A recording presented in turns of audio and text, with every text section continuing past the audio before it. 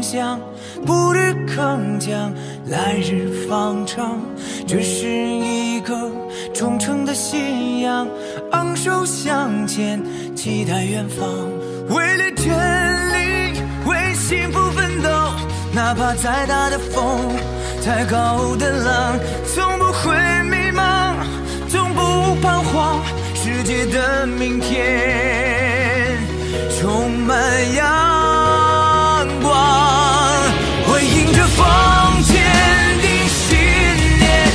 感受光芒。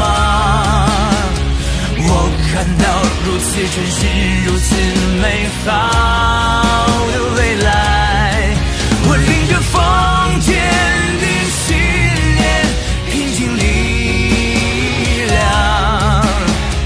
我知道美好愿望不会辜负了时光。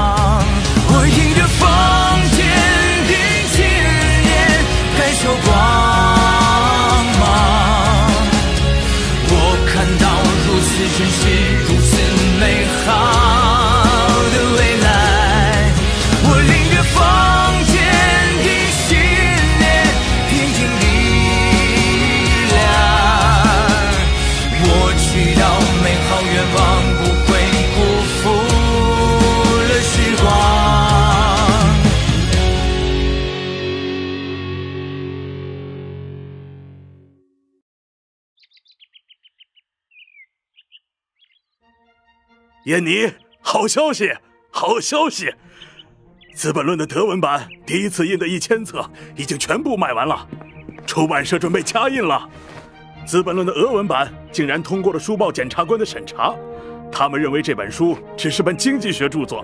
呵呵，俄文版印了三千册，不到两个月就卖完了。你在笑什么呢？亲爱的，我回来了。脸色怎么还这么苍白？好些没？嗯，能有什么事？不过有点头晕胸闷。那你还费精神看什么书呢？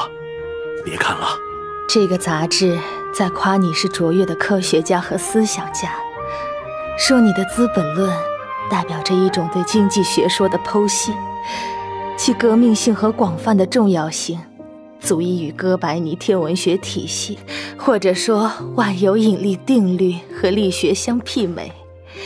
还说你精深广博，风趣健谈。都跟他们说了，不要发表这些颂扬的文章。看着开心，这么多年的辛苦都值了。夸，让他们使劲夸。你不知道，《大西洋》杂志还准备给我出传记来着。等你病好了，我带你看看还有其他人是怎么夸我的。妈妈，您该吃药了。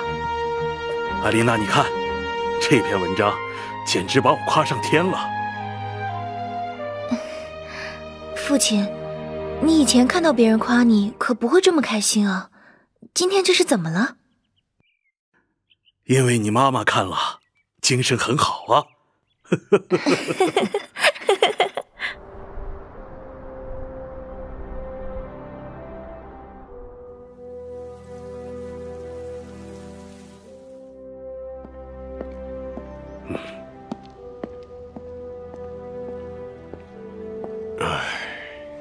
杜林最近太活跃了，这个小资产阶级思想家写了《国民经济学和社会主义批判史》《哲学教程》等书，公开挑战我们，还自我标榜是什么杜林主义，把德国党的思想搞得越来越混乱了。他的书我看了，新瓶装旧酒，换汤不换药，不过就是折中主义哲学、庸俗经济学和小资产阶级空想社会主义那一套大杂烩。前几年拉萨尔派就开始玩这一套，还搞了个哥达纲领。我们当年不就写了哥达纲领批判？只不过为了维护党内团结，就没有公开发表。是时候公开批判他们了。可是我现在整理《资本论》第二卷和第三卷，特别是要花很多时间来研究俄国土地关系。我还得看数学、农业化学、物理学这些方面的专门著作，实在没时间理会杜林。唉，你追求完美的毛病还没有改掉，怪不得《资本论》后面的部分迟迟出版不了。要不，我先不写自然辩证法了，写本大部头，系统阐述我们的哲学，特别是唯物史观，还有我们的政治经济学和科学社会主义理论。对杜林进行系统批判也好。燕妮最近身体越来越差了，我还得抽出时间多陪陪他，那只好拜托你了。秋天到了，树叶会枯黄，会掉落，但只要熬过了冬天，还是会茂盛起来的。秋去冬来，冬去春来，转眼即逝的人生。却正是一次激情的战斗。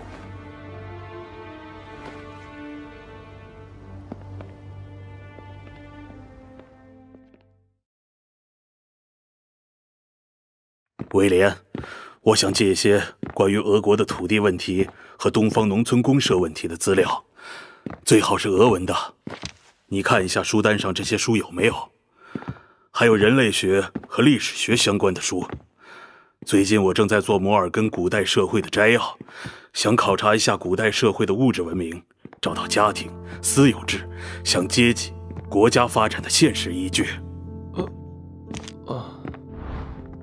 这么多，您的身体受得了吗？哦，对了，还要一本俄语字典。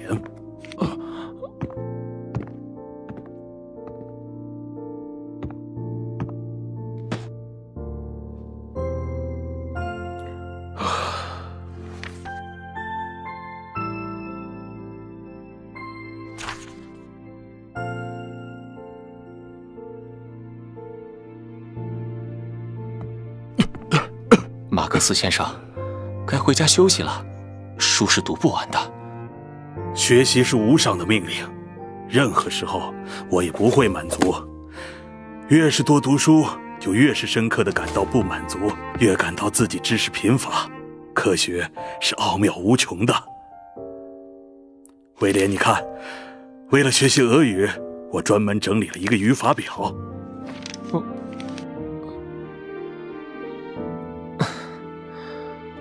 好，好，好，不回去，继续学习。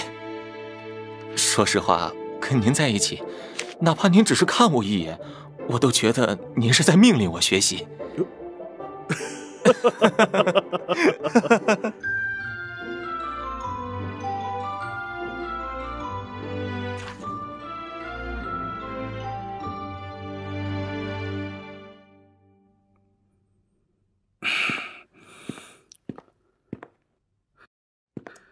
妮，别看了，医生说你不能太过劳累。卡尔，你在说什么呀？我没有生病呀。你去上大学之后，哥哥就不让我给你写信了。现在终于等到你了，叶妮，你要是父亲还在，一定会支持我们的。你会和我一起坚持的，对吗？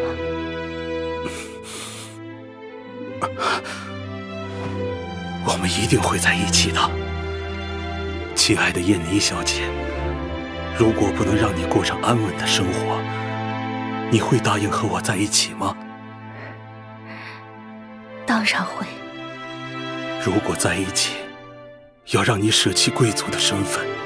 跟着我颠沛流离，四处漂泊，连家乡都不能回；跟着我捉襟见肘，借债生活，连你最喜欢的银质餐具也要拿去当掉；跟着我家徒四壁，一家人的住所连你家最小的房间都不如；跟着我缺医少药，疾病缠身，连我们亲爱的孩子都救不活。卡尔，我们不会这样的，对吗？万一呢？那好吧，只要你爱着我，只要我们的灵魂能够共鸣。燕妮，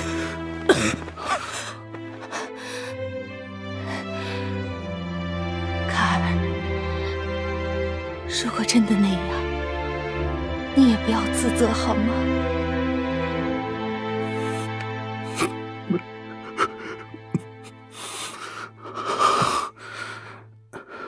叶妮，你想看看这一生我最爱的人吗？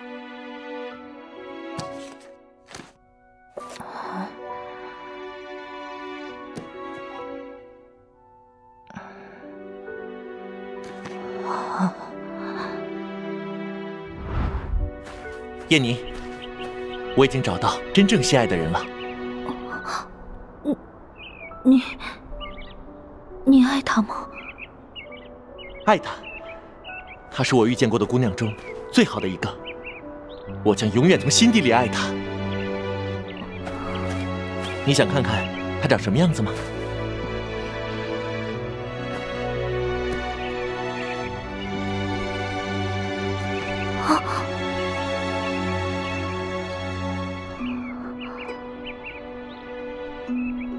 看到了吗？这就是我爱的人。真美呀！是啊，真美。你永远是最美丽的特里尔舞会皇后。卡尔，我坚持不住了。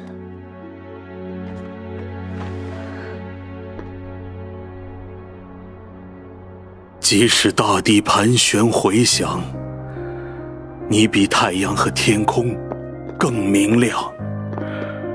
任凭世人把我无限责难，只要有你的爱，我一切甘当。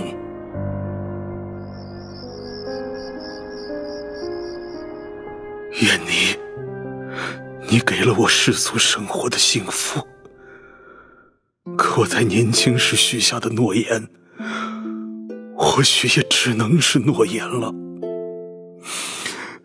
愿你，我爱你，我们之间是灵魂的共鸣。贵族家的小姐，这一生辛苦你了。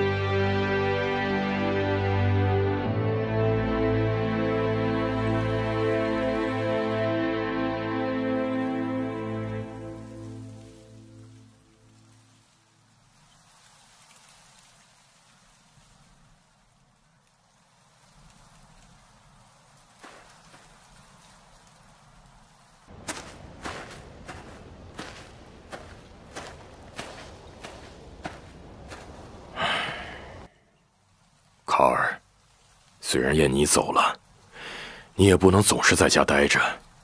真担心你就这么消沉下去。你的身体也不好，应该找个地方疗养一下。燕妮去世的消息让全世界都很心痛，世界各地的朋友和伙伴纷纷传来吊唁，你要振作起来。感谢你们的安慰。我知道这都是好意，但这丝毫无法缓解燕妮去世给我带来的悲伤。恩格斯，听你的，我想我应该出去散散心。如果有一位女性把使别人幸福视为自己最大的幸福，那么这位女性就是燕妮。燕妮走了，卡尔也走了。燕妮去世后，马克思非常伤心，身体每况愈下。一年多后，一八八三年一月，小燕妮也因病去世，马克思伤痛欲绝。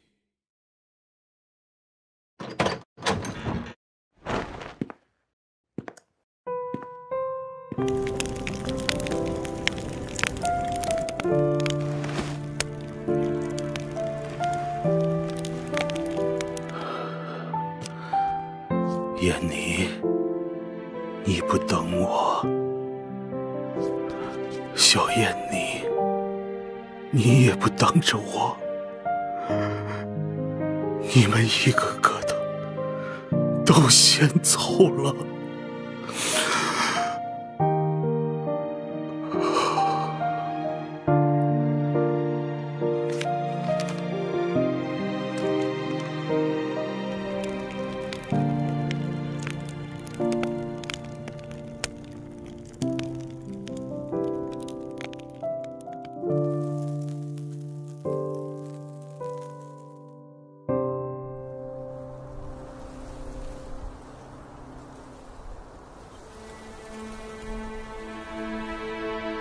三月十四日下午两点三刻，当代最伟大的思想家停止思想了。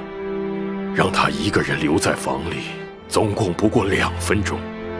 等我们再进去的时候，便发现他在安乐椅上安静的睡着了，但已经是永远的睡着了。他可能有过许多敌人，但未必有一个死敌。他的英名和事业将永垂不朽。马克思是顶天立地的伟人，也是有血有肉的常人。马克思一生饱尝颠沛流离的艰辛，贫病交加的煎熬。他是不幸的，但他又是幸运的。他初心不改，矢志不渝，收获了来自燕尼世间最美好的爱情。收获了来自恩格斯世间最纯粹的友情，收获了来自全世界无产阶级最真挚的尊敬和爱戴，为人类解放的崇高理想而不懈奋斗，成就了伟大的人生。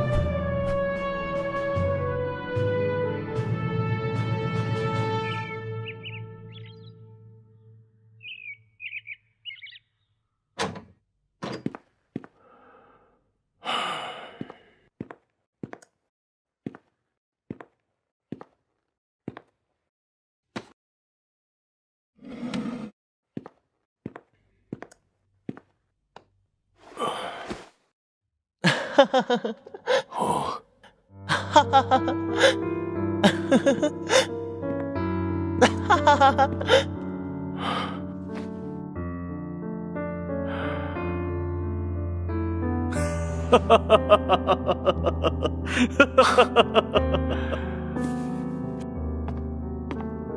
卡尔，你还记得吗？我们第一次在莱茵堡匆匆见面。以为再也不会重逢，还好，我追上了你的脚步。从巴黎雷让斯咖啡馆开始，为了共产主义信仰，我们一起思考，一起工作，一起战斗。在你离开的这十一年间，我终于把《资本论》第二三卷整理好了。觉得我很累，但我是幸福的，因为在做这些的时候，我觉得终于又和我的老朋友在一起了。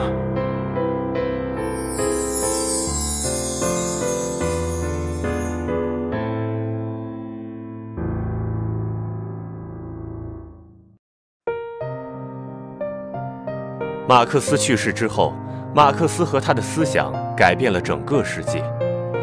以马克思的名字命名的科学理论——马克思主义，成为马克思留下最有价值、最具影响力的精神财富。这一理论犹如壮丽的日出，照亮了人类探索历史规律和寻求自身解放的道路。一九一七年，列宁领导俄国布尔什维克党人发动十月革命。成功建立第一个社会主义国家，开辟了人类历史的新纪元。十月革命一声炮响，给中国送来了马克思列宁主义。在马克思列宁主义同中国工人运动的结合过程中，一九二一年，中国共产党应运而生。近百年来，中国共产党始终将马克思主义基本原理与中国具体实际相结合。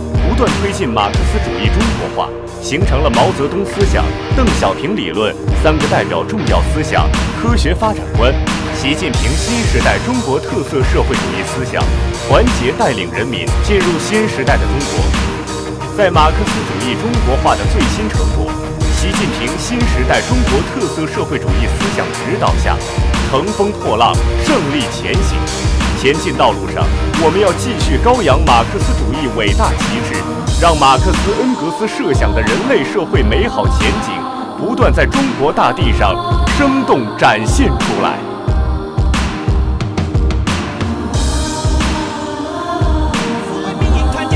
没有谁能熄灭我的热情。为人类的解放，生无真心。这里很马克思。尽管此刻见，你不懂我热爱的一切。